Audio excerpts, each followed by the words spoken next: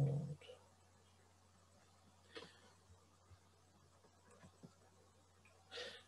Okay, so welcome and thank you for joining me on this workshop. And uh, Eric Cantona said it's all about confidence.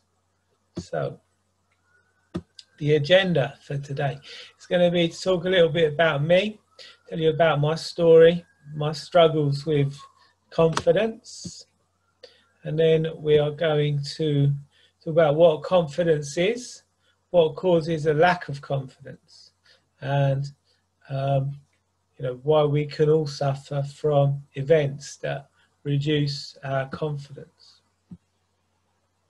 And then we're going to look at techniques and tricks and tips to increase confidence. We're going to have a short hypnosis session and then we're going to talk about what else you can do. And then at the end, I'll ask for any questions or comments. And um, yeah, you can ask me anything you want then. Um, so, about me, who am I? So my story started in 2015. I'm a hypnotherapist, a life coach, master practitioner, and a mindfulness practitioner.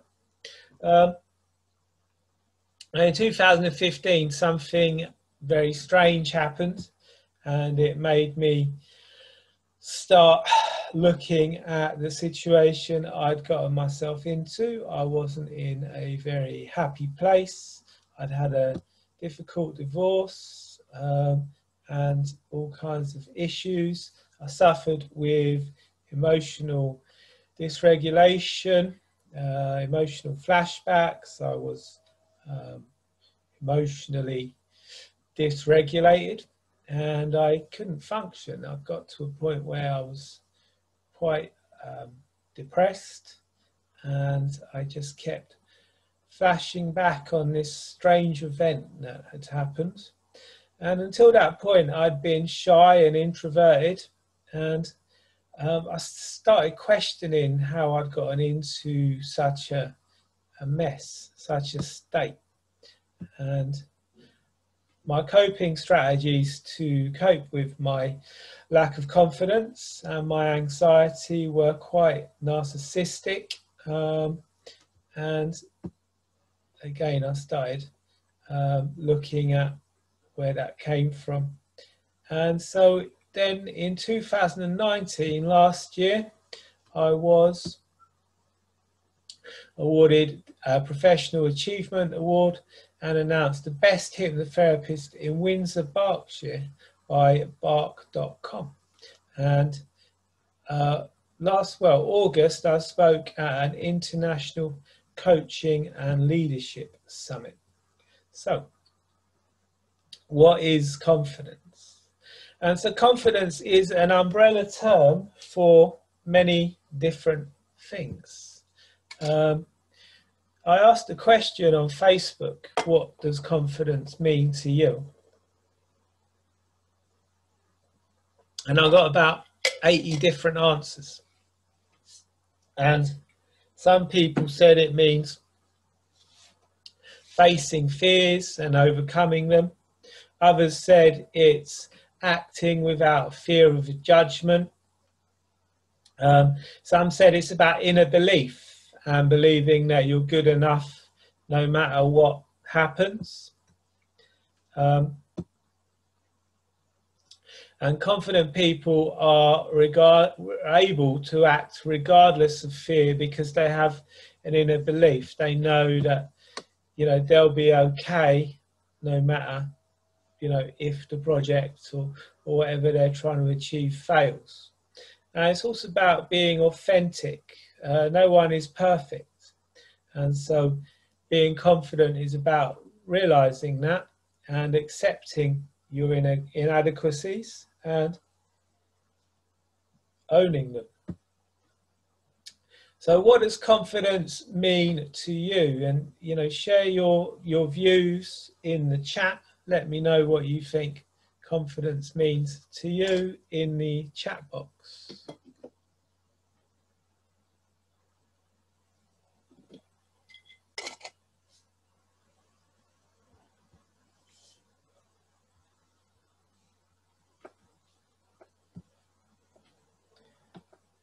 Okay.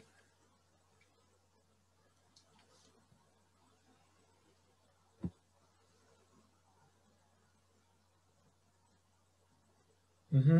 Not doubting yourself, yes. Being at ease around people, yes, yeah. I used to. I used to get very anxious around people. Trust your own judgment with it, yeah.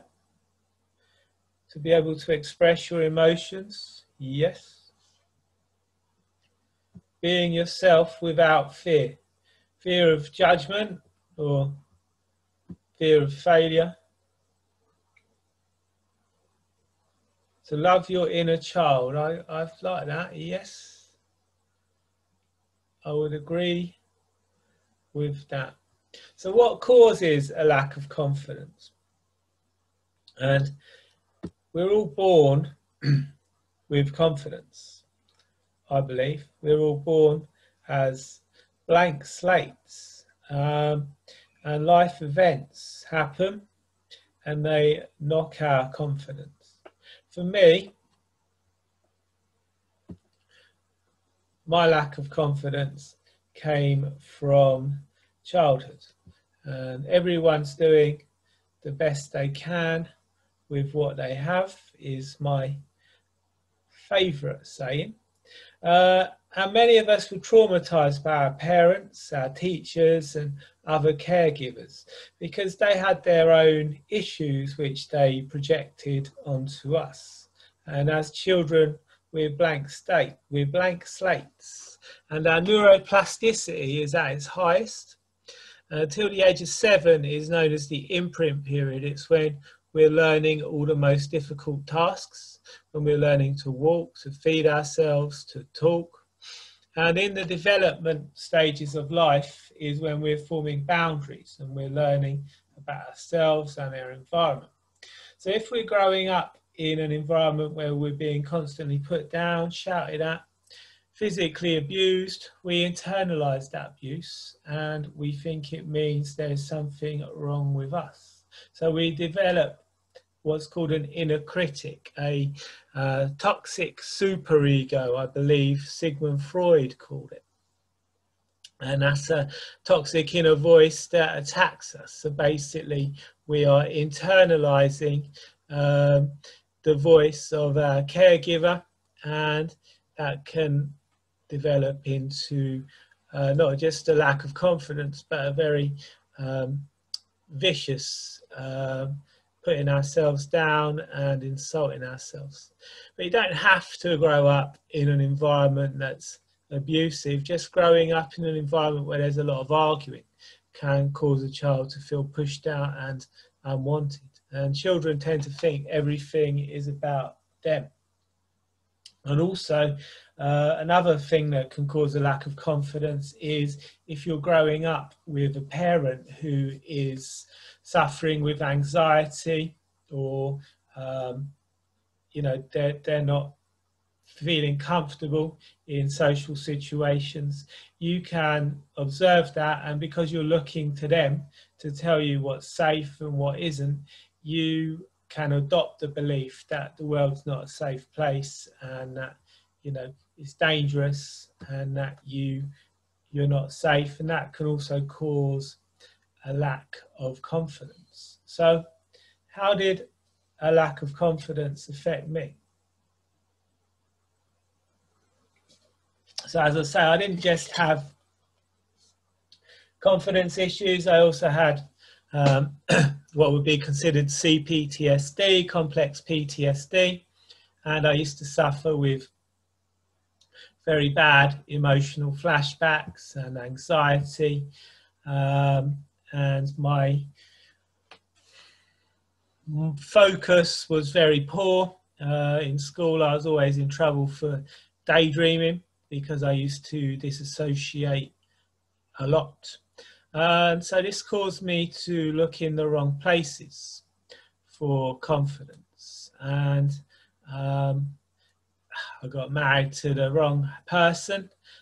Um, I brought uh, cars to try and make myself more confident. I suppose I brought all kinds of stuff to try and make myself more confident.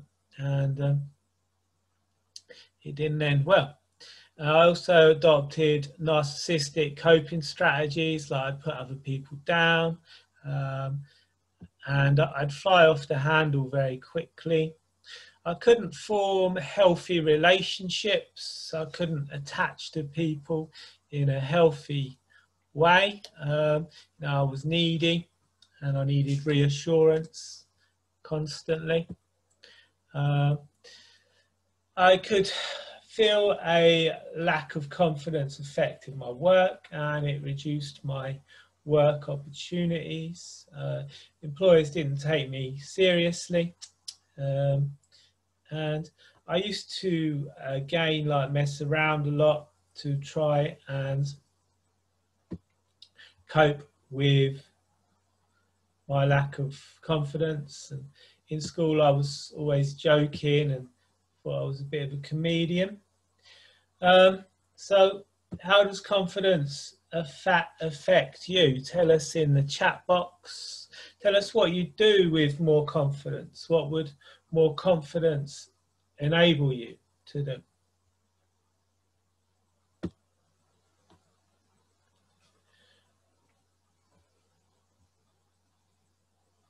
So techniques for increasing confidence for me, things started to change when I hurt my back. Um, hurting my back meant I couldn't slouch anymore. And so my posture had to change. I had to sit up straight and walk taller. I couldn't walk um, with a, you know, hunched over uh, posture. And when we hunch over, and you know, that's a very low status um, posture to take. We're basically doing that to protect our vital organs, and that's telling our uh, mind that we're, you know, under attack or under threat. is is putting us at a very um, beta kind of uh,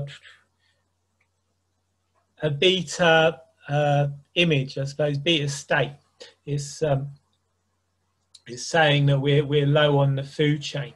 Whereas when we sit confidently and we have our, you know, our body parts, um, our vulnerable body parts open, like our chest and our throat, we keep our head up straight. That's, you know, giving a signal to our mind that we are alpha. And by doing that, we release all kinds of confidence boosting hormones. So just by changing your posture, you can start to notice an improvement in confidence. And you can also, it's been shown that by standing um, in what they call a Superman pose with your hands on your hips for two minutes, I believe it increases your testosterone levels by up to 30%. So it's, it's a very good thing. And a lot of salespeople, um, you know, stand like that before they make sales calls or go to sales meetings to give themselves a, a confidence boost. Um, another thing that we need to do is to set some goals because if you don't know where you're going, you're never going to get there. And if we're not working towards a goal, or if we're just living life aimlessly. We are going to be, we've got nothing to measure ourselves against, we've got nothing to measure our progress against. So we're going to be vulnerable to having our confidence knocked by the slightest little thing. And we're going to be jumping from one thing to the next. So what we need to do is set SMART goals. And SMART goals are specific. So we need to think of something specific that we want to achieve. They're measurable, achievable. Obviously, there's no point in setting a goal which you don't believe you can achieve. They're relevant, so they're relevant to us and they're time bound. So uh, an idea of a SMART goal with regards to confidence uh, could be well for me it was public speaking so um, at the start of this year I decided that I needed to do more public speaking, I needed to do more Facebook Lives, I needed to be confident talking to groups. So I did a public speaking course um, and my goal was to be able to give presentations like this um, by August last month, well, month before last month. So that was my goal at the start of the year. So it was specific because I was saying that I want to be able to give presentations to groups of people. It was measurable because I can obviously know if I've achieved that goal or not. It was achievable and it was relevant to me and it was time bound because I put a time limit on it, which was August of this year. So that would be an example of a SMART goal. Another thing we can do is to get out of our comfort zone. And when we first exit our comfort zone, we go into the fear zone. And this is where most people give up and they go back into the comfort zone. So once we get into the fear zone, we start experiencing a lack of confidence. We start looking for excuses we allow ourselves to be influenced by other people's opinions. And if we are able to get through that and move into the learning zone, we can start to deal with challenges and problems. We can begin to acquire new skills and we extend our comfort zone. So this little zone here, once we learn these new skills, this little zone here moves all the way out to here. Then if we go beyond that, we get into the growth zone where we're able to set new goals, to live our dreams and find our life's purpose. So public speaking was once an issue for me um, in primary school, I was unexpectedly presented with an award and um, it caused me to almost faint when my name was called out. And same thing happened again in secondary school. Um, so when I had to give a presentation as an adult, um, when I worked in sales, my boss gave me very short notice. Um, because I was a people pleaser and I wanted to try and impress him, I suppose, and I didn't know how to say no. Uh, I said yes, and I ended up getting in front of 500 people and making a plonker of myself. They all laughed at me uh, within 30 seconds of me being on stage. So public speaking was a major uh, obstacle for me to overcome.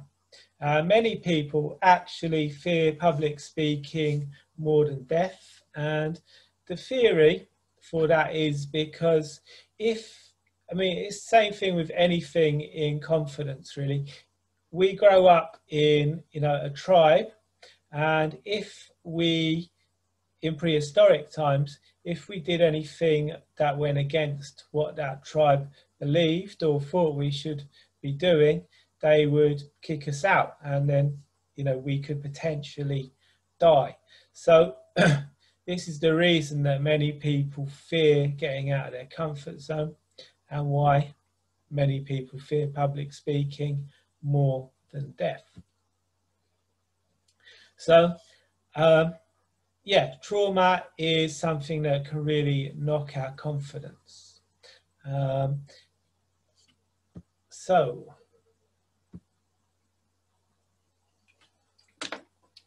another thing we can do Another thing I did to increase my confidence was heal my inner child. As I said, I grew up in a um, dysfunctional family, a family of people who had personality disorders. And I was constantly being put down and insulted um, and picked on, and it was quite a violent um, environment. And it and caused me to suffer, you know, a lack of confidence and to get anxious. But we don't have to have grown up in that kind of environment. Um, we all have an inner child and we all pick up unhelpful ideas in childhood. Um, as I said previously, until the age of seven is known as the imprint period. And if we grow up in environments with people that have got anxiety issues or anything like that, we can adopt the belief that the world is not a safe place. Uh, most phobias are actually picked up from our parents. Um, because again, when we're in that imprint period, we're looking for to them to tell us what's safe and what isn't. And if they've got fear of something, we're likely to pick up on that fear. So, the power of your mind. You can't be someone you don't perceive yourself to be. And this is why uh, hypnosis is very effective because the emotional part of your brain cannot tell the difference between a real or imagined event. So the more you're able to envisage yourself being more confident, being the way you want to be, doing the kind of things that you want to be doing, the more you're going to create neural pathways in your brain and you're going to be able to become more the way that you're imagining yourself to be. So, um, let's do some exercises to show you the power of your subconscious mind. So, what I'd like everyone to do. We're gonna we're gonna do different different exercises than normal today because some of you have, uh, have seen this presentation before, and I'm going to make it a bit different for you. So I'd like you to take your hands, clasp them together like that, and then hold them like that with your two index fingers out in the air like that. And then I just want you to imagine that there's a magnet pulling those two fingers together. And just imagine that. Just imagine there's a magnet pulling those two fingers closer together and you just like just imagine it just using the power of your mind imagine those fingers coming closer and closer together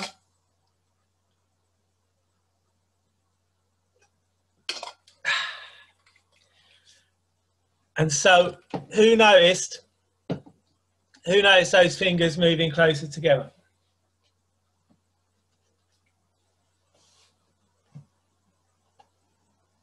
Yep. Did everyone? Whose fingers touched?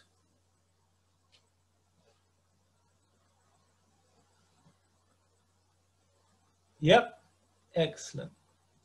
Okay. So another thing we can do is to take our left hand, hold it out with our palm facing up, take our right hand and hold it out with our palm facing down. Close our eyes.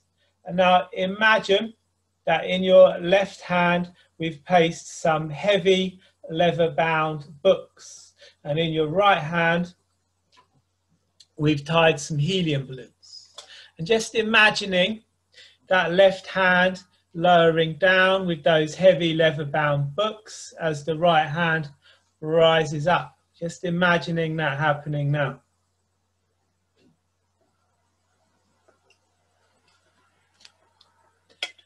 And then when you're ready, open your eyes and notice how your hands have changed. Yep.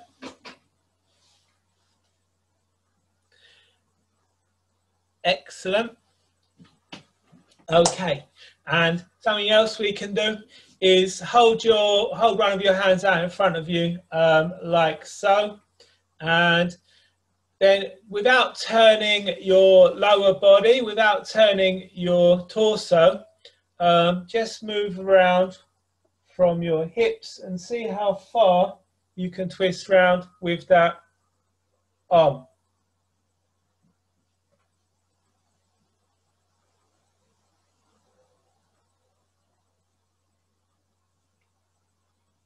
And then come back to the center.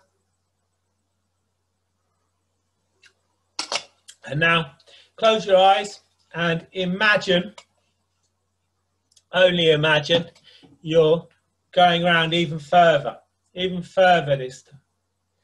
You can go all the way around if you want because it's only in your mind. Just imagine it in your mind. And then open your eyes. And once again, we're going to put that arm out in front of us again. We're going to twist around. and just see if you get around further that time.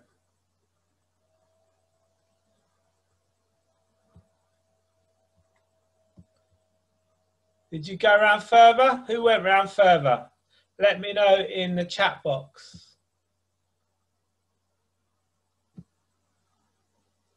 Yep.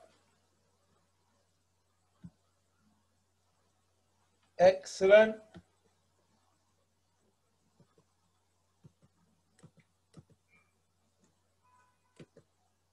Okay. Going back to the presentation.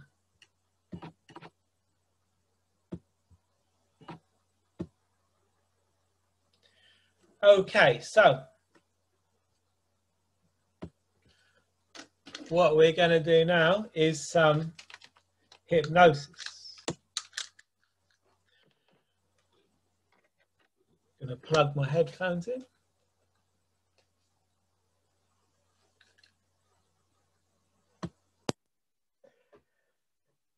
Okay, so hypnosis is a deeply relaxing state. It's part of the um, sleep cycle. Well, there's various theories on hypnosis, uh, but I like the theory that it's part of the sleep cycle, the REM sleep cycle. And we all go through different brainwave states um, several times during the course of a day. They are beta and gamma they're the waking brainwave states. And as we start to relax, we drift into alpha. And then from there, we go to theta. Theta is part of the REM sleep cycle. And it's a hyper learning state. It's actually been proven that until the age of seven, a child's brainwaves are predominantly in the theta brainwave state. And it's in this brainwave state um, that we can envisage things more clearly. Uh, and then after theta, we go to the delta brainwave state, which is part of the sleep cycle. Um, and that's when our body's releasing hormones and repairing itself. So, who wants to try some hypnosis?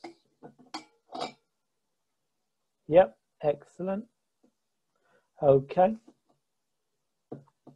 Excellent. So if, uh, like I say, it's perfectly natural state that we all experience several times during the course of the day. If you've ever driven somewhere, got into your destination and not remembered the journey, that's hypnosis. If you've ever been reading a book and being engrossed in the book, lost track of time, that would be a state of hypnosis.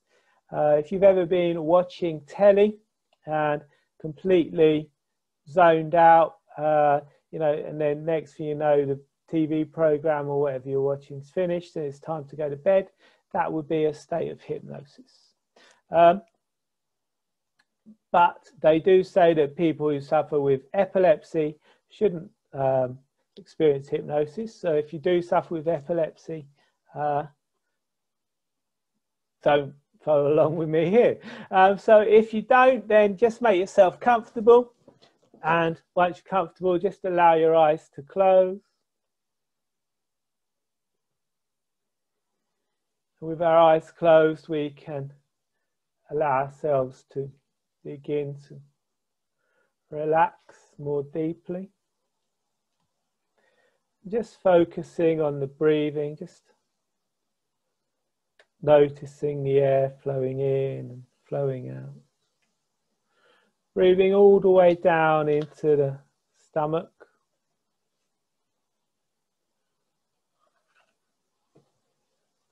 When we breathe into the stomach, we trigger the relaxation response.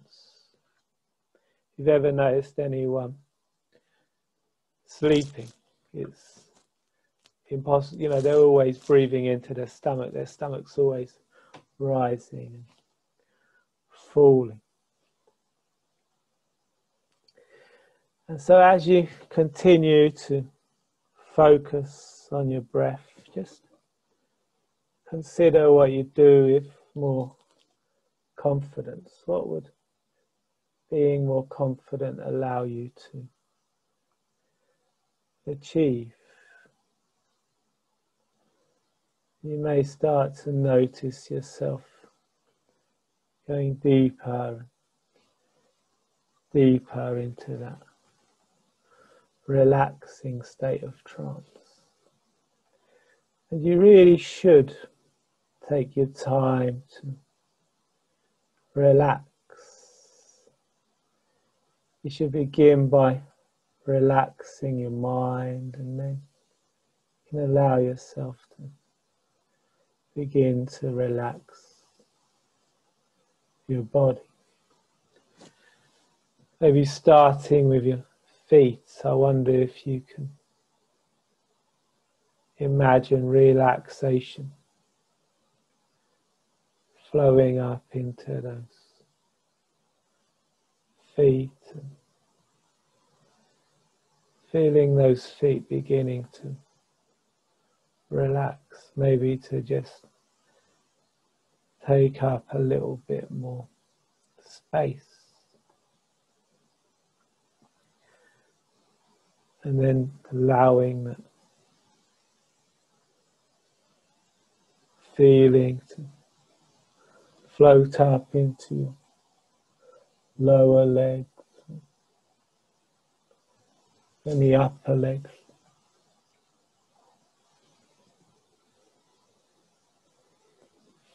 Maybe you can feel one leg relaxing more than the other. Maybe you can sense a difference in those legs. Maybe one leg feels warmer than the other leg. As a person starts to enter a state of trance, they can become aware of various phenomena. They can notice the tiny muscles in the arms or legs may begin to twitch a little. And their eyes can start to move about beneath their eyelids as they're accessing that REM state. And then just notice that relaxation continuing to flow up your body into your stomach. Maybe you can get a sense of those ribs just expanding, releasing as you're breathing out.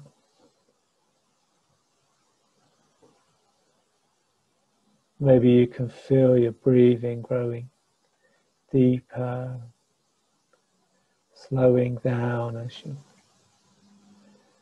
feel more comfort flowing in. And then you can allow the relaxation to flow around into your back, flowing up the spine.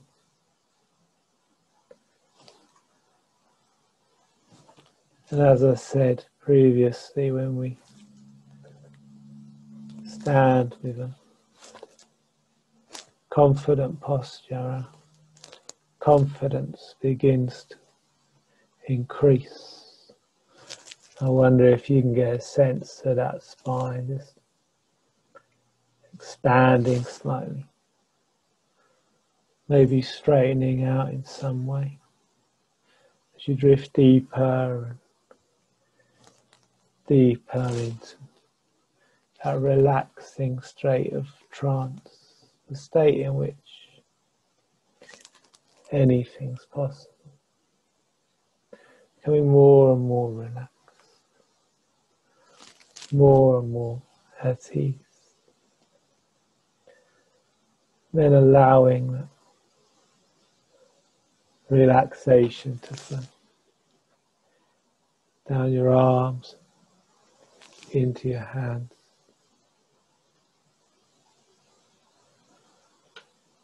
Flowing back up from your hands,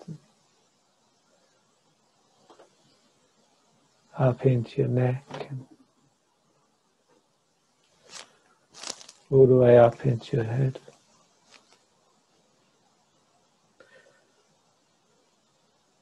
And then I wonder if you can get a sense of yourself entering a special place.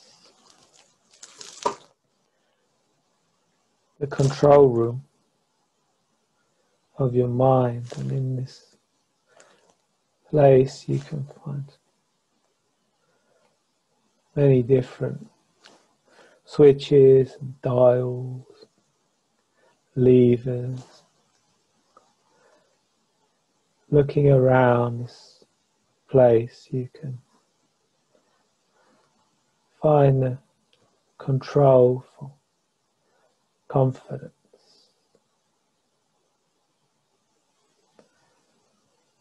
I wonder if you can consider what would happen if you were to adjust that dial just just a little. Just twisting that dial slightly. Maybe it's a lever that you push on to full ahead.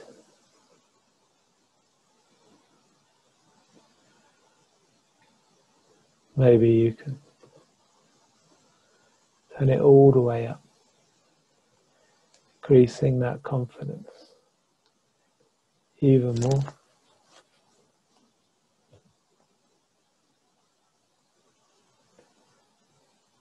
Maybe you can get a sense of yourself at some point in the future, acting more confidently, feeling more confident. Just getting a sense of what you could achieve if you could bring some of that confidence back to the here and now.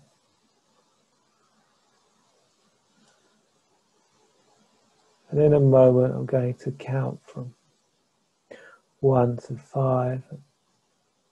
When I get to five, you can allow your eyes to open, becoming fully aware and wide awake, noticing that something has begun to change, that you have begun to change. As I start counting now, one, Just allowing the feeling to return to your body. Maybe you like to wiggle your toes too. Feeling the energy rising up your body now, down into your arms and three. Maybe you'd like to wiggle your fingers. Four. And after four comes five, and you can open your eyes, coming fully back to the present, noticing how good you feel. Maybe you'd like to stretch and yawn.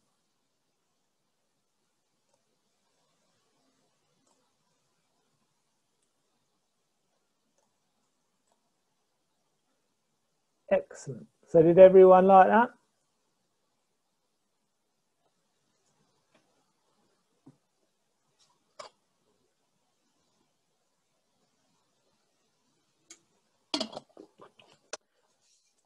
Fabulous. Okay.